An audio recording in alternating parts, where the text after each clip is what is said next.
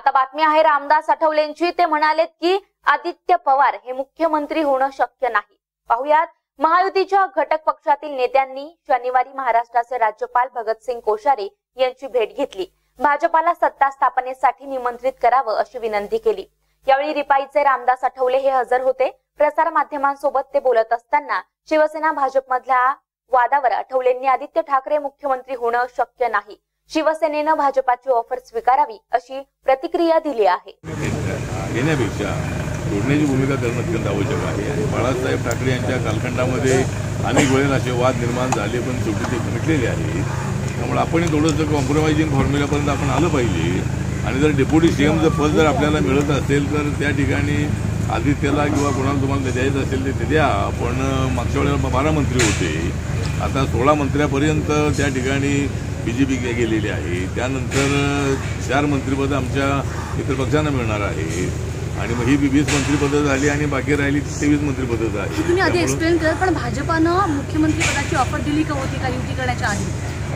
नाही भाजपने मुख्यमंत्री पदाची अ, जी ऑफर आहे ती मला वाटतं दिलेली मला नाही वाटतं आहे की पण ठोस इन्फॉर्मेशन आहे. नाही नाही म्हणजे आ- माझी इन्फॉर्मेशन अशी आहे की अर्ध्या अर्ध्या जागा लढायचं ही मात्र चर्चा झाली होती. म्हणजे लोकसभेच्या वेळेला अमित शहा ज्या वेळेला इथं आली होती त्यावेळेला समसमान जागा ज्या आहेत विधानसभेच्या त्या लढायच्या. मित्र पक्षांना अठरा जागा तर सोडायच्या.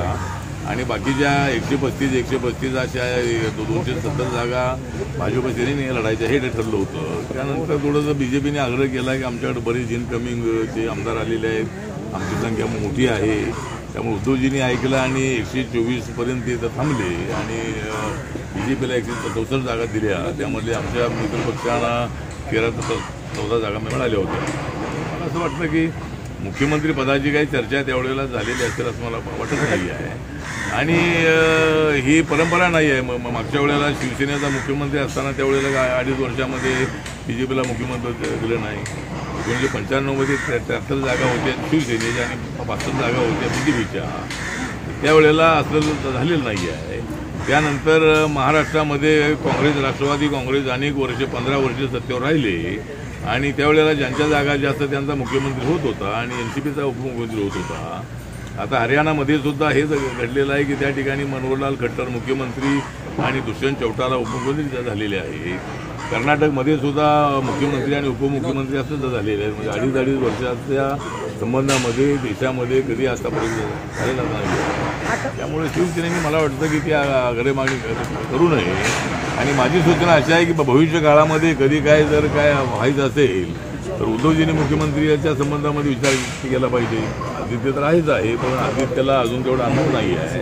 आणि आदित्यला मुख्यमंत्री बनवलं तर राज्य चालणार कसं ही?